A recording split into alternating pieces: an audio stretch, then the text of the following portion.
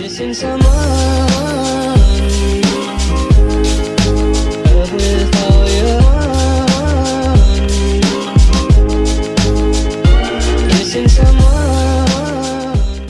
Salut à vous, j'espère que vous allez bien. Bienvenue sur une nouvelle vidéo.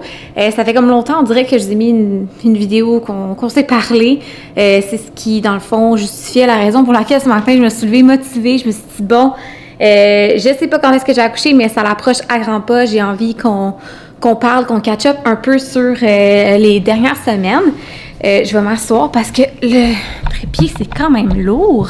Donc, c'est ça, aujourd'hui, on est mardi, on est le 8 février. Euh, C'était une journée plus tranquille pour moi aujourd'hui. On s'est levé, moi puis Will, on est allé porter Clara à la garderie. On est allé chercher un café, puis euh, on est allé chez un client pour créer du contenu pour une collaboration pour Will. Donc là, il y a à peu près presque 11 heures. Là, je viens, on vient de revenir à la maison. Will travaillait sur la route aujourd'hui, donc il est venu me porter. Puis euh, c'est ça, moi, c'est des petites choses euh, de maison à faire aujourd'hui, mais euh, sans plus. Donc ça tombait super bien là, pour, pour catch up un peu ensemble parce que j'avais mentionné dans un story dernièrement que j'aurais peut-être pas le temps beaucoup pour le daily vlog. Toutefois, là, je me rends compte que, bon, même si la grossesse approche à grands pas, j'essaie de m'écouter euh, de plus en plus parce que je vous avoue que je commence à trouver ça plus difficile, le, genre de quotidien avec, euh, avec Clara, puis la fatigue et tout. Euh, C'est surtout physiquement, je trouve, plus que genre... Tu sais, je suis pas nécessairement fatiguée, je suis fatiguée physiquement. C'est sûr que j'ai un bébé là, dans le ventre, puis j'ai Clara qui nécessite beaucoup d'attention. Donc, il y a Will aussi qui travaille quand même beaucoup. Donc, c'est ça. Mais euh, j'ai bien hâte de rencontrer notre popoune. là. C'est vraiment excitant. On est comme dans les derniers préparatifs là, euh, avant euh, l'arrivée. Je montrerai justement aujourd'hui qu'est-ce qu'on a updaté dans nos, trucs de bébé. Sinon, on s'est pris aussi un dernier week-end au chalet en famille. Ça a été un week-end court, mais ça l'a fait vraiment du bien. J'ai pas vlogué rien. C'était vraiment pour aller comme s'évader, puis vraiment penser à rien d'autre que juste enjoy la nature, même si on n'est pas vraiment sorti dehors parce qu'il faisait super froid. Fait qu'avec Lara, c'était pas super. Mais Will, lui, est allé en touring avec le 6e Club. Euh, il lui arrive de faire quelques sorties par-ci par-là. Il en reste pas gros parce que là, c'est sûr, je vais accoucher bientôt. Puis euh, il travaille beaucoup sur le 6e. Euh, pour cet été, là, il y a vraiment des, des- trucs intéressants. Fait que si vous êtes quelqu'un qui aime la course euh, ou que vous avez envie de vous mettre à la course parce que c'est vraiment une communauté euh, auquel tout le monde a accès, qui priorise vraiment le bien-être euh, au-delà de la performance. Donc, je vous mettrai encore une fois là, plus de détails dans la bio. Je vous en parle souvent, mais honnêtement, ça vaut vraiment la peine. Belle communauté, des belles personnes. J'aimerais pouvoir être plus présente cet été, là, dans mon cas. C'est sûr que Will, bien souvent, surtout celui de notre. il y a comme plusieurs. euh, plusieurs, plusieurs communautés, mais lui, de notre quartier, là, Will risque d'amener Clara parfois des matins euh, pendant que moi je suis avec Ellie. Euh, c'est ça. Sinon, ben là, c'est ça. euh, Clara, elle a recommencé la garderie. Je sais pas si je l'avais déjà dit dans un autre vlog, mais euh, bref, ça lui fait du bien euh, de revoir ses éducatrices et ça fait du bien pour moi. Ça m'a permis, dans les dernières semaines, de travailler, de prendre quelques petits contrats par-ci par-là euh, qui a quand même occupé de mon temps, plus euh, ma création de, de, contenu personnel, puis ben euh, en effet, s'occuper de la maison, puis tout. Demain, on a une femme de ménage qui vient pour la première fois à notre maison ici. Euh, on en avait une au condo. Par contre, ici, on en avait toujours pas pris. Ça me faisait du bien de faire le ménage, du bien à ma tête, mais je me rends compte que là, j'y arrive plus. Oui, faire le petit ménage quotidien, mais de scrubber la douche, le bain à quatre pattes à terre, là, faut que je me rende à l'évidence que j'ai vraiment beaucoup difficultés enceinte et j'ai vraiment d'autres choses à faire. Puis ça, ça demandait, tu sais, on a quand même une maison ici de quatre étages, ça demandait quand même beaucoup de temps. Donc, euh, je suis quand même contente de pouvoir euh, euh, de pouvoir avoir ce, petit service-là. là. Donc, demain, c'est la première fois qu'elle va venir. Puis, elle devrait avoir le temps de revenir une autre fois avant que j'accouche. Si j'accouche vraiment à ma due date, là, c'est à moins que j'accouche avant. On verra bien. Moi, dans mon cas, ben là, j'approche la 37e semaine. Donc, euh, oui, ça va être bientôt, mais écoute, j'ai accouché à 41.3. Je l'espère du plus fond de mon cœur que cette poponne-là ne sera pas autant attendre. J'avais vraiment trouvé ça difficile. Puis on dirait que je trouverais ça difficile d'accoucher genre à la mi-mars. Mais bon, bref, on choisit pas, puis l'important, je sais, euh, le cliché, on veut qu'il soit en santé, le bébé, puis c'est plus important. Ça, je suis tout à fait d'accord. Fait que rendu là, elle arrivera quand elle arri- arrivera, mais euh, c'est ça, je continue à faire des exercices un petit peu chaque jour. Euh, J'avais eu un accouchement quand même assez difficile, donc j'essaie de faire des exercices pour faciliter l'accouchement. Et puis c'est ça, dans le fond, de ça dit induced labor, mais tu sais, je veux dire, c'est clairement, je- mon corps est pas prêt à donner naissance tout de suite. Fait que je veux dire, j'ai pas de contractions à part des contractions de Braxton X euh, ou quoi que ce soit. Mais euh, ça, fait du bien de faire des exercices, surtout pour la tête. Honnêtement, euh, c'est la raison principale pour laquelle euh, je m'entraîne une fois de temps en temps. Euh, ça rend ma journée tellement mieux. Sinon, ben, ça ressemble à ça, tu sais. euh, je dirais présentement, Clara elle nous a fait un épisode de roséole euh, ce week-end. Elle nous a fait de la fièvre la semaine passée. Il y avait eu un cas là, à la garderie. Fait que c'est comme immanquable. C'est des maladies infantiles euh, inoffensives. Toutefois, c'est ça. J'aime mieux qu'on aime mieux qu'elle l'attrape là qu'elle l'attrape adulte. Il y a beaucoup plus de complications possibles quand t'es adulte. Mais c'est ça. C'était comme un bundle d'affaires. Non seulement elle nous a pas fait des super nuits. Et là, elle avait fait de la fièvre. Elle voulait pas manger. Elle était vraiment irritable. Euh, c'est ça. Fait que son petit caractère qui se développe en plus de ça, c'était comme euh, un beau petit combo euh, en fin de semaine qui a fait en sorte que j'ai comme commencé ma semaine hier que j'étais genre ouf, ok. C'est ça. Mais là, ça se passe bien, je pense, à la garderie. Les, éducatrices ont que des bons commentaires. Elle pleure plus, puis tout. Elle joue. On a eu son bulletin d'ailleurs. Euh, tu sais, Cara, c'est une petite fille calme, une petite fille curieuse. Euh, tu vois qu'elle aime découvrir, elle est vraiment attentive, puis tout ça. Elle est juste pas très... euh, J'aurais pas dit sociable parce que Clara est super sociable one-on-one avec les gens. Euh, tout le monde est en train de dire comment elle est tellement cute, elle parle tout le temps, elle est proche, puis tout ça, mais avec les enfants, tu sais, Clara est unique encore, elle n'a pas de frère ou de sœur. Euh, elle va pas nécessairement, tu sais, c'est la première de la famille. Euh, c'est le premier bébé dans le fond de la famille. Là. Oui, ok, la famille élargie, il y en a, là, mais fa- famille immédiate, là, en termes, elle n'a pas de cousin cousine vraiment encore. Fait que, tu sais, c'est le seul bébé, donc elle n'est pas vraiment exposée à beaucoup de bébés aussi avec la COVID. Fait qu'à part à la garderie, euh, qui, on va se l'avouer, a pas été, elle n'a pas été nécessairement beaucoup depuis qu'elle a commencé au mois de septembre, là, avec tous les bobos qu'elle attrape, euh, on est allé en voyage, les quarantaines, etc. Euh, elle n'a pas pu nécessairement s'habituer encore à... à être entourée de bébés. Fait qu'elle est un peu sauvage. Euh, Arsène, moi, quand j'étais petite, moi aussi, j'étais quelqu'un qui était beaucoup dans sa bulle. Euh, comme je dis, elle est sympathique, elle va amener les jouets aux enfants puis tout, mais elle, observe plus qu'elle va être comme entreprenante pour euh, aller jouer avec eux. Puis s'ils sont trop dans sa bulle, comme ça la gosse. Fait que, écoute, c'est son petit caractère à elle. Et j'ai bien hâte de voir comment elle va être avec sa petite sœur. Alors, c'est ça. Donc, je pense que j'ai assez parlé pour le moment. Petite journée tranquille ici, je vais vous montrer des choses par-ci par-là, mais je voulais surtout catch-up avec vous, là, euh, ça va bien, je n'ai pas accouché encore. Euh, voilà, si vous me suivez sur Instagram, vous le voyez euh, très bien de toute façon. Fait que c'est ça, j'ai vraiment, on dirait que quand tu es sur bord d'accoucher, tu veux tout faire comme dans les dernières semaines, avant de, comme comme j'avais dit dans un story, avant de devenir maman deux fois pour le reste de ma vie. Fait que c'est ça, puis aussi de profiter beaucoup avec Lara. D'ailleurs, euh, en fin de semaine, on a une sortie avec elle euh, qu'on va vous amener avec nous, qu'on va vlogger. Là. Fait que euh, ça va être comme une dernière sortie, juste les trois ensemble, là, avant qu'on soit un petit peu plus tranquille, là, avant que bébé arrive. Alors, c'est ça. Donc, c'est la Saint-Valentin en fin de semaine. Alors, je vais vous montrer un peu qu'est-ce que j'avais. Ben, en fait, non, ça marche pas mon affaire parce que si Will regarde le vlog, il va voir son cadeau. Mais bref, je vais emballer son cadeau. Euh, je vais également créer des lettres que je vais juste demander à Clara qu'elle dessine un peu dessus parce que bon, elle est encore trop petite pour faire du euh, DIY. On va se rendre à l'évidence. Euh, quoi qu'ils en font à la garderie et elle aime vraiment beaucoup ça. Et euh, je vais emballer les cadeaux à Clara. Là, on n'est pas allé en fou. Là, si je veux vraiment juste acheter des petites affaires comme, comme ça. Là. Je veux pas non plus qu'elle prenne l'habitude d'avoir tout le temps des gros cadeaux à chaque petite fête qu'il y a parce que là, ça finirait plus. Euh, déjà qu'elle est assez gâtée comme ça. Alors, euh, mais c'est correct si vous le faites. Là. Je veux dire, pas de jugement.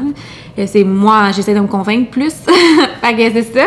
Puis euh, je vais vous montrer les petits updates là, sur euh, les derniers prépara- préparatifs de la maison. Euh, pas de la maison, mais avant l'arrivée de bébé. Là, je dis n'importe quoi. Je pense est temps que j'arrête de parler. Là, je vous vois sur ma caméra, ça fait genre 10 minutes que je jase. Fait que voilà. Alors, je vous amène avec moi. Si ça vous intéresse, ben restez là. Donc, j'ai acheté pas mal tout chez Dolorama en toute honnêteté, là, sauf ça et ça, c'est chez Walmart pour emballer les cadeaux. Donc, j'ai le cadeau à Will là-dedans. Là. Je dirais pas c'est quoi parce que, comme je dis, s'il regarde la vidéo, euh, je veux pas qu'il sache son cadeau d'avance. Mais c'est ça, tu sais, on se fait des gros cadeaux de Saint-Valentin, mais je travaille assez fort et ça me fait plus que plaisir. D'ailleurs, je vais vous parler de Rose Forever. Dans le fond, c'est une compagnie basée à New York qui font des fleurs, euh, des roses euh, éternelles. Alors, ils m'ont envoyé un petit paquet, comme ça, de roses rouges. Moi qui tripe sur les fleurs. C'est moi, je vais surtout m'en servir pour la création de contenu, pour euh, la Saint-Valentin. Euh, je trouve ça tellement beau des roses de toute façon. Puis euh, la couleur, ça fait très romantique.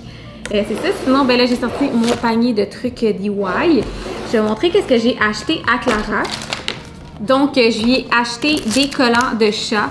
Euh, ce qui est fun de ces collants-là, c'est qu'ils sont comme 3D, fait qu'ils sont plus faciles à enlever et mettre euh, que des collants qu'il faut que tu grattes. Clara comprend pas tout à fait encore. Fait que euh, je sais que ça, ça fonctionne bien. Fait que il y en a 32 quand même, là. Euh, Clara tripe sur les chats, genre une obsession sur les chats. Euh, que je me dis, elle va être contente. Il y a ça également, c'est Scratch and Sniff. Dans le fond, c'est des cartes, là. Il aurait fallu que, tu sais, mettons, c'est des cartes que tu achètes puis tu donnes à tes amis, mettons, à l'école. Mais là, ça va être vraiment juste pour le principe d'avoir des cartes que tu grattes puis que ça sent des petites odeurs. Encore une fois, des chats. En plus, c'est des vrais chats. Fait que ça, c'est toujours le fun. Elle a plus de références. Euh, un petit chocolat comme ça. Euh, je l'avais acheté chez Co- Chocolat Favori pour euh, Noël, puis finalement, j'ai jamais donné parce que je trouvais qu'elle en avait eu comme assez. Et sinon, évidemment, ben, la Paw Patrol. Clara qui tripe sur Paw Patrouille. Alors, euh, j'ai acheté deux livres comme ça ici. Il y en a un, c'est à colorier. Fait que euh, Clara adore dessiner et en plus, elle a des collants. Puis, il y a ceux-là aussi également pour dessiner avec des collants. Euh, Ceux-là, par contre, sont pas 3D, mais c'est pas grave, là, ça va le faire. Fait que euh, c'est pas mal tout, honnêtement. je veux dire, c'est- en masse. Alors, je vais lui emballer. Et j'ai acheté aussi des, des moules comme ça. Celui-là, je l'ai utilisé pour faire du bricolage, mais j'en ai dans mes trucs de cuisine pour faire des biscuits de Saint-Valentin pour ce week-end. Et euh, c'est ça, sinon je vais faire une petite euh, lettre DIY que Clara va pouvoir euh, jouer avec. C'est des trouvailles que j'ai faites, là, des petits cœurs comme ça chez euh, Dollarama. Donc j'ai bien hâte de voir qu'est-ce que ça donne. Alors je fais ça à l'instant.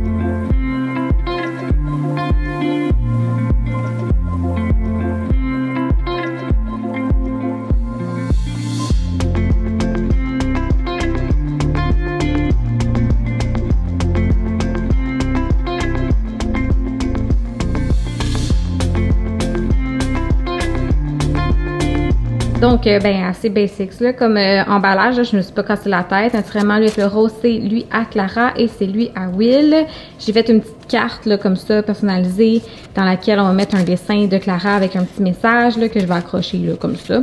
Puis Clara, ça va probablement juste être un cœur avec son nom, parce que, bon, on lui offre pas de carte en... Fait que c'est ça, je vais conserver le reste, là, pour avec Clara. Euh, L'heure du dîner approche, puis je voulais vous montrer, dans le fond, euh, quelques affaires euh, juste avant...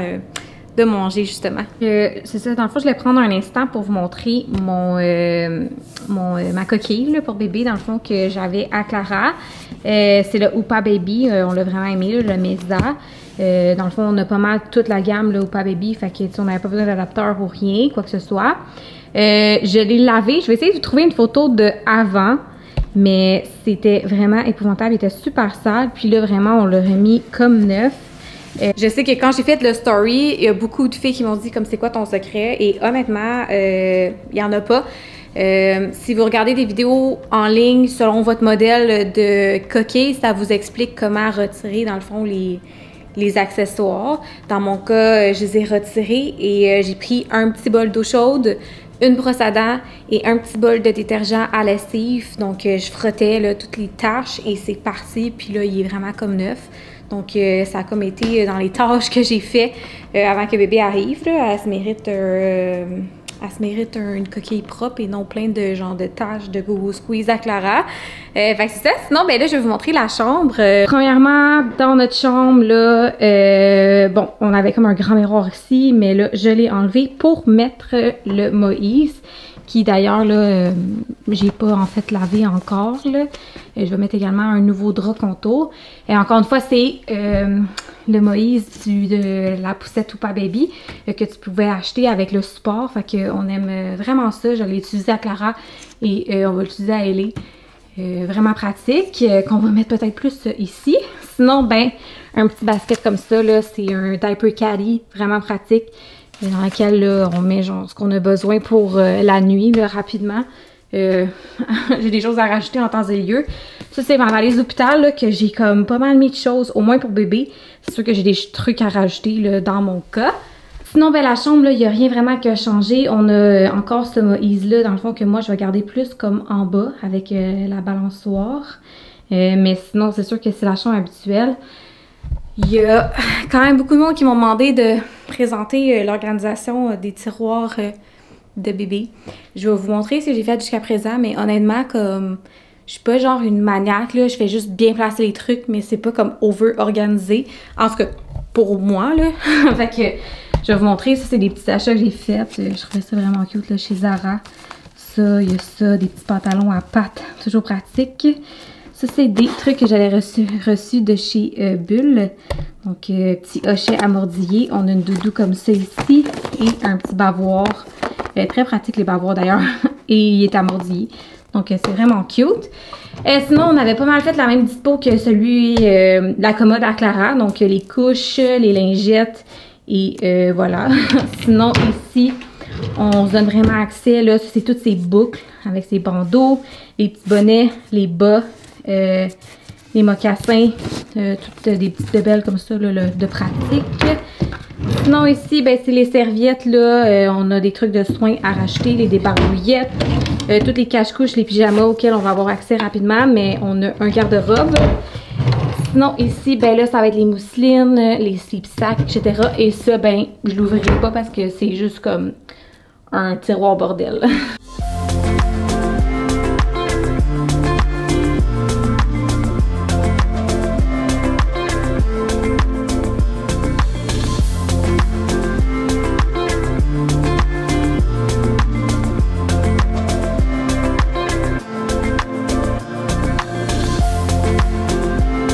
Donc, on est un peu plus tard dans la journée. Là, il est 2h15. Euh, je suis allée faire l'épicerie. Je suis allée acheter euh, quelques affaires qu'on avait besoin à l'épicerie.